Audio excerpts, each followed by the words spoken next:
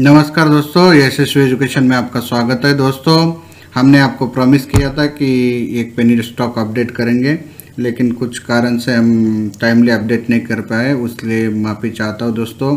आज का हमारा पेनी स्टॉक है, ये देवप्री कंपनी है सूरत टेक्सटाइल मिल्स लिमिटेड और इसके ऊपर आज का वीडियो है तो वीडियो को पूरा एंड एंड तक देखिए, और चैनल को अगर सब्सक्राइब नहीं किया तो सब्सक्राइब ज़रूर कीजिए। दोस्तों इस वीडियो में हम डिस्कस करने जा रहे हैं, ये कंपनी में आपको यहाँ से मल्टीबैगर रिटर्न देने का चांसेस क्यों है? तो सबसे पहले बात करते हैं, सूरत टेक्सटाइल मिल्स लिमिटेड, ये गुजरात बेस्ड कंपनी है और इसका दो प्लांट है, वो सूरत में और एक प्लांट है सिलवासा में। ऐसा तीन प्लांट है दोस्तों। और इस कंपनी का, छोटी कंपनी है दोस्तों, छोटी कंपनी है, उसके ऊपर हम आपको डिस्कस करते हैं। तो इसका मार्केट कैप है मात्र 261 करोड़ का। तो टेक्सटाइल सेक्टर में छोटी कंपनी है और इसका जो करंट मार्केट प्राइस है 11.8 पॉइंट रुपीज़ है, जो अभी का हाई है, लगभग समझ लो। और इसका जो 52 वीक लो था, वो था 2.03 का। स्टॉक का पी है एटीन रुपीज़ का बुक वैल्यू है 6.22 का और रिटर्न ऑन कैपिटल एम्प्लॉयड है 13.4 percent return on equity 11 percent का है।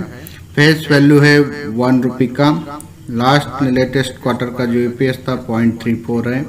इसका सबसे पहली बात, अच्छी बात है दोस्तों, ये टेक्सटाइल सेक्टर की कंपनी है और इसका डेप्थ टू इक्विटी ज़ीरो, यानी इस कंपनी के ऊपर किसी भी टाइप का डेप्थ नहीं है। पेग रेशियो इसका पॉइंट नाइन थ्री है यानी कंपनी अभी भी अंडर वैल्यूड है। और इंडस्ट्री पी एटीन रुपीज़ है, स्टॉक पी एटीन ही है तो एट पर विथ इंडस्ट्री है। बुक वैल्यू इसका 1.89 का है। दूसरी अच्छी बात जो है प्रमोटर का शेयर होल्डिंग यहाँ पे 75 परसेंट है दोस्तों। तो ये सब पॉजिटिव्स आपको दिख रहे हैं। ये टेक्नो फंडा एनालिसिस करेंगे टेक्निकल और फंडामेंटल हम दोनों बताएँगे आपको। इसका टोटल जो नंबर ऑफ़ शेयर्स है 22.2 करोड़ है दोस्तों। अब हम यहाँ पे इसका रिजल्ट्स की बात करेंगे तो रिजल्ट्स आप देखेंगे क्वार्टर ऑन क्वार्टर तो जून 20 का क्वार्टर में काफ़ी ज़्यादा इफ़ेक्ट हुआ था, जो कोरोना के बाद वाला इमीडिएट क्वार्टर जो था फ़र्स्ट वाला तो वहाँ पे कंपनी का रेवेन्यू एकदम से ड्रॉप हुआ था, फिर सितंबर 20 में इम्प्रूव हुआ। उसके बाद दिसंबर 20 में इम्प्रूव हुआ और मार्च 20 में भी इम्प्रूव हुआ। प्रॉफिटेबल कंपनी है तो ईपीएस भी अच्छा है कंपनी का और ईपीएस राइजिंग में है दोस्तों। ये क्वार्टरली रिजल्ट्स की बात की जाए और उसके बाद आप ईयरली रिजल्ट्स को देखेंगे तो ईयरली रिजल्ट्स में इसका रिजल्ट्स अभी डाउन में ही है दोस्तों।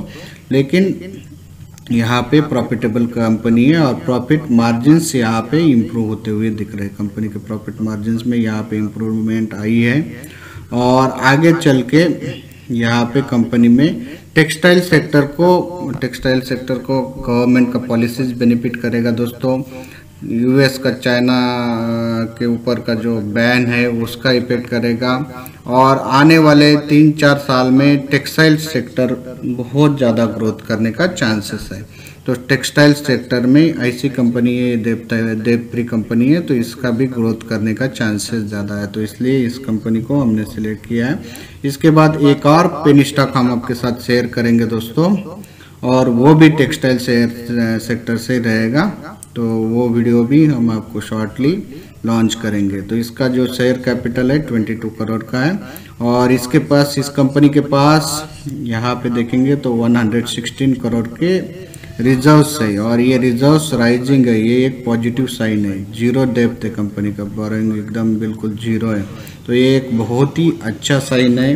प्रोमोटर शेयर होल्डिंग यहाँ पे देखेंगे तो 75 परसेंट का है। तो ये एक पॉजिटिव साइन है।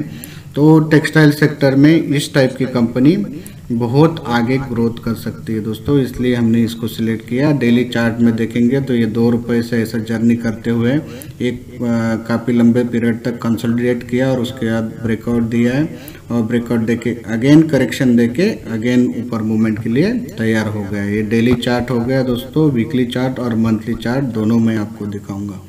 सो वीकली चार्ट में आप देखेंगे तो यहाँ पे ये क्रॉसओवर बना है और यहाँ पे ये बाइंग सिग्नल भी था दोस्तों। आपको हमने अपना मल्टीबैगर स्टॉक की खोज का वीडियो आपको बनाया था। अगर उस वीडियो को फॉलो करते तो यहाँ पे आपको बाइंग सिग्नल मिल गया था।